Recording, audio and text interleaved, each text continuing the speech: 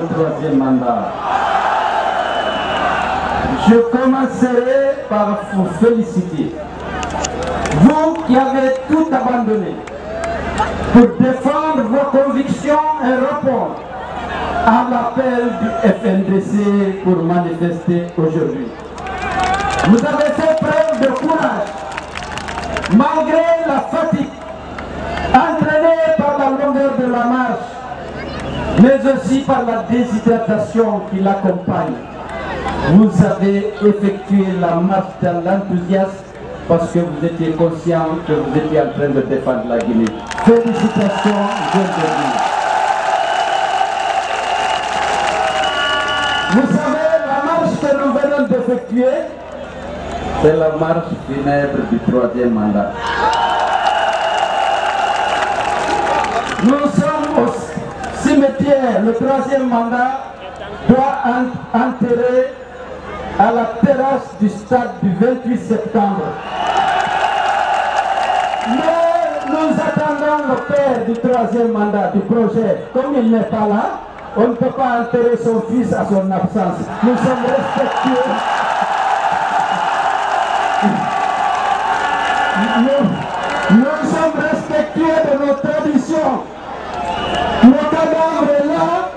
Nous attendons le Père pour procéder à l'enterrement définitif du troisième mandat, mais il est déjà mort de manière définitive aujourd'hui. Le peuple de Guinée vient de délivrer un message important à Alpha.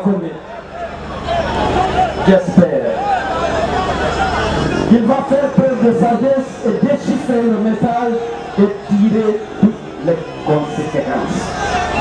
Les conséquences que nous attendons, je le dis calmement mais fermement, c'est de faire un discours public pour renoncer de manière solennelle et irrévocable à son projet de troisième mandat que nous avons enterré aujourd'hui. Il n'a qu'à faire le deuil du troisième mandat et l'enterrer le jour il aura le courage et la sagesse de prononcer ce discours funèbre.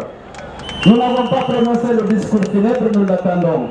Il va, c'est sa déclaration solennelle, renonçant définitivement et irrévocablement à son projet de troisième mandat. C'est ça le discours funèbre. Ce qu'on pouvait faire pour l'aider, c'est d'organiser cette grandiose marche funèbre.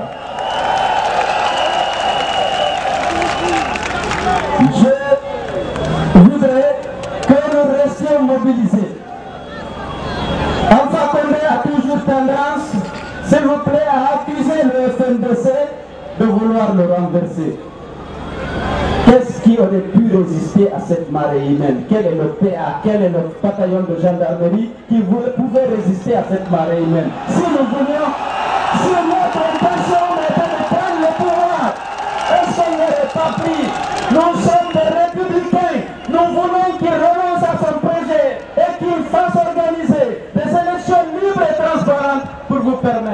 de choisir votre prochain président dans la.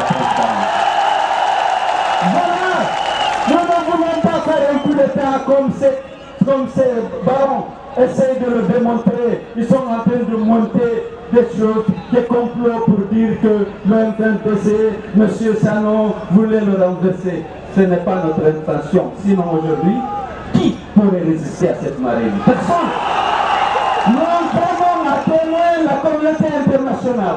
Notre intention n'était pas de renverser Alpha Condé. Sinon aujourd'hui on aurait continué pour cette Ce n'est pas dans le samouraï et ces gendarmes qui auraient pu arrêter ou bafouer.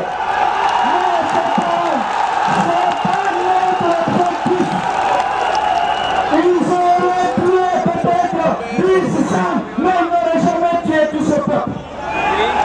Donc, il faut que le peuple de Guinée comprenne. Il faut que la communauté internationale comprenne que notre ambition, c'est bâtir une démocratie apaisée, respectueuse des règles et des principes d'un état de droit, réconcilier les Guinéens autour de valeurs essentielles pour que notre pays puisse jouir pleinement des, potentiel économique, notamment minier et énergétique, que la Providence a donné notre peuple. Aujourd'hui, le plan de M. Alpha Condé, qui le pousse à continuer sur un troisième mandat, ils sont engagés dans une course effrénée d'enrichissement au détriment du peuple, alors que beaucoup d'entre vous et ailleurs n'arrivent pas à avoir deux repas par jour. Ils sont en, en train de s'enrichir de manière éhontée en détournant les ressources de notre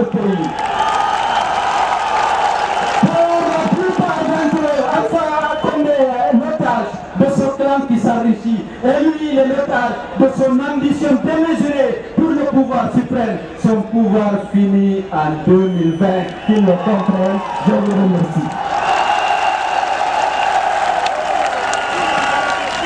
Jamais, et ça, il faut le remercier. Vous savez, si Alpha ne donne pas l'ordre de tuer, personne ne mourra lors des manifestations.